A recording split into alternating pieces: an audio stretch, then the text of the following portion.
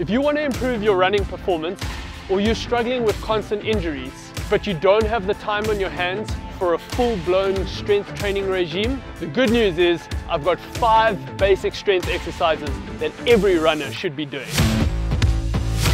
So the first exercise we're going to touch on is the squat. Now squat is a really good exercise because it's focusing on more than just one muscle group, namely glutes and quads. Now, if we think about quads for running, in particular downhill running, we really want strong quads and strong glutes. You've often heard doctors or physios talking about your glutes being too weak or your glutes not firing appropriately. And it's exactly this reason why the squat is a brilliant exercise to really target strong glutes. You work in a closed chain, so your lower back, your glutes, your hamstrings are all connected. And if you can have strong glutes, it does help with injury prevention in various parts of the lower body. So how do we do a squat? Technique here is absolutely key. The first thing we want to look at is our feet position. You want to have your feet slightly wider than your shoulder width apart. A lot of people stand with their feet too close together, feet just outside of shoulder width apart. If you do struggle with poor hip mobility, you can have a slightly wider stance that will allow for improved range of motion in the squat. You want to try and get a feel for your weight distribution that your weight is on your heels. You can almost curl your toes up slightly so that you've got very little weight on the front of your foot. Then focusing on shoulders and back, so getting the upper body position right. I'll often use the cue shoulders back, chest out. If I just show you from the side, I'm not necessarily referring to leaning back when I say shoulders back. I'm talking about just squeezing the shoulder blades together and puffing the chest out.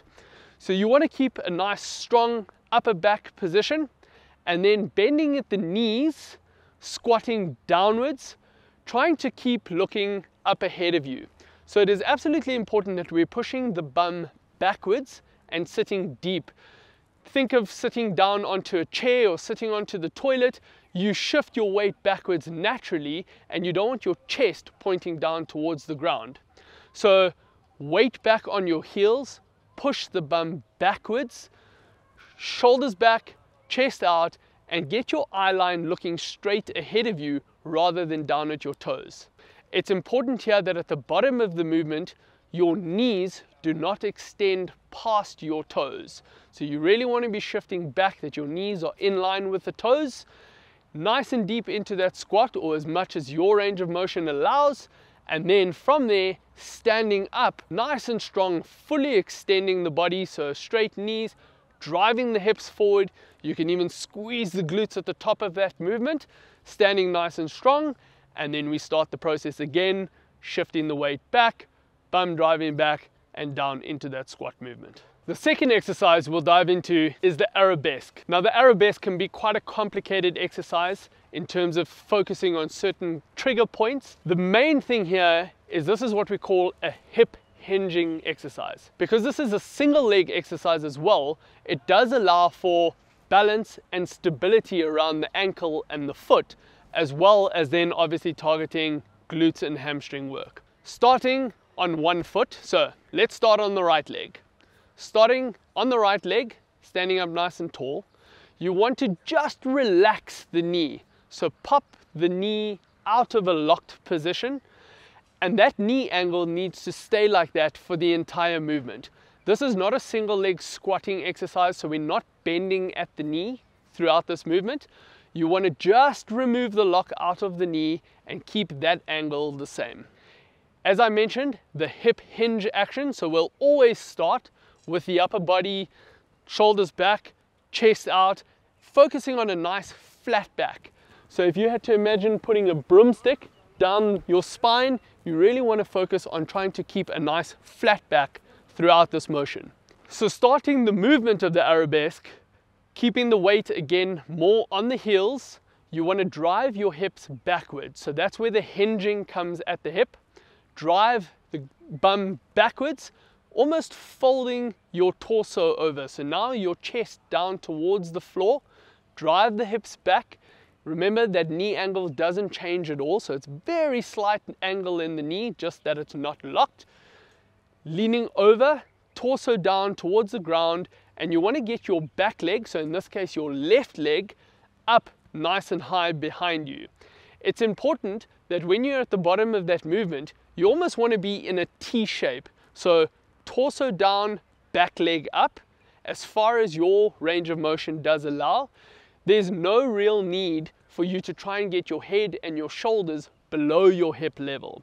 So getting into a nice T shape, that back leg up nice and high, and then from there, standing up, really focusing on pushing those hips forward. You should feel hamstrings, you should feel glutes as you're standing up. Drive that hip forward, and again, standing up nice and tall in the top of the movement, you can lock the knee out and then unlock the knee, and we'll start again for the next repetition. One key area I would like you to focus on with the arabesque is when you are pushing the back leg backwards, try not rotate at your hips. You want to try and drive that leg backwards rather than making an arc motion behind you. So keeping the hips nice and square, both hip bones pointing forward, bending down into that arabesque position and standing up nice and tall at the top of the movement. The third exercise we're going to get into is the step down. Now the step down is a really good exercise for beginners and really targets the quadriceps. This can also be done nice and slow and by doing it slow means a good isometric movement or contraction in the muscle and getting these quads strong is absolutely key for downhill running in particular. So it really does allow us to condition ourselves a little bit rather for that eccentric loading that comes and that happens with running. Let's get into it. Our step down, you want to be on a small step or a small box typically 20 to 30 centimeters high, doesn't have to be massive.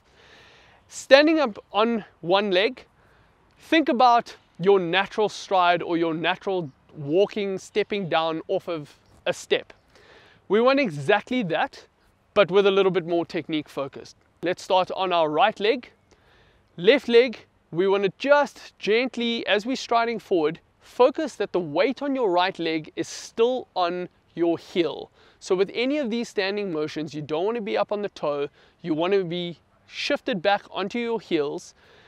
It is key that you do want to be driving your bum back a little bit. So standing up on that step, as your left leg starts moving forward, you want to drive your hips back, so your bum back a little bit. That allows the leg you're standing on, so your right knee, not to extend past your right toes. So remember, we always want to be shifting backwards. Then we'll gently step yourself down nice and slow, weight backwards as though you're doing a single leg squat. So think about a squatting technique still, but now just on one leg. Gently step down, you don't actually transfer weight onto the left leg. All you're going to be doing is touching that left leg on the floor or the lower step below you, and then with the right leg that you're standing on, driving back up into a nice straight position think about driving forces through the heel and not your toe. So again, hips back, weight on the heel, gently tap the left foot on the floor in front of you at the bottom of the movement, and with that right leg driving up nice and strong, push the hips forward, and then repeat into the next repetition. You can do all of the exercises or all of the reps on one side before moving across to the other side. The next exercise is our glute bridge. Again, as I mentioned, really having strong glutes and working glutes is beneficial for multiple reasons. Not only driving forces in your running and forward motion, but also in making the rest of your structures and the link between your upper body and lower body nice and strong that helps prevent the little niggles and injuries in other places in the body. So the glute bridge, how do we do it? You're gonna lie down on your back. You wanna have your knees bent at 90 degree angle with your feet on the floor. I usually use the tip of really trying to drive your heels into the ground so you can almost angle your foot up and actually have your toes pointing up towards the roof. Lying on your back, 90 degree knee angle, heels digging into the ground. Hands at your side, so it just helps for a little bit of a more stable base, is placing your hands on the floor next to you. And from here, we are really gonna force your hips nice and high. So driving force down through the heels, drive those hips up into the air, and at the top of that movement, imagine squeezing your glutes as tight as you can. So you really want your hips up as high as you can get them. You'll hold it there for a second or two, and then gently let your hips back down to the ground into that lying position again. Seems like a pretty simple exercise, but the more you do it, you really will start to feel proper glute activation. If you find that you're adapting really quickly to the glute bridge and you're finding it to be quite easy, there are ways for you just to make it slightly more advanced. What I would recommend doing is then instead of having your hands on the floor in front of you, you can place your hands together and your hands up in the air. By doing that, just allows a little bit more torso and trunk stability because you're forcing yourself to stabilize a little bit more and not roll side to side as you're driving your hips up. So hands together up in the air pointing towards the roof and exactly the same, drive down the hills into the ground, hips up into the air, hold it for a second or two and relax before starting the next repetition. Exercise number five, the calf raise. Now this is a really good exercise if we think about the running action or the running stride. It focuses largely around ankle mobility and that driving action that you do in every running stride and every step you take thousands of times in a training run or a race. So how do we do a calf raise? Pretty simple, feet together. You want to try and focus on keeping your knees locked for this movement. A common mistake I see with a calf raise is people using their quads, so bending the knee and driving up as though they're doing a squatting type action. We are not trying to work the quads, we are working the calves. So, knees locked, hands at your sides, and you want to step up high onto your toes. Think about getting as high up onto those toes as you possibly can. Upwards motion, think about really trying to get as high up onto your toes as you can. So nice and high, driving upwards onto your toes for that calf raise. Again, hold it there for a second or two, and then importantly, gently letting yourself back down to the floor. I see a lot of people drive up nice and strong into a calf raise and then just flop back down to the floor.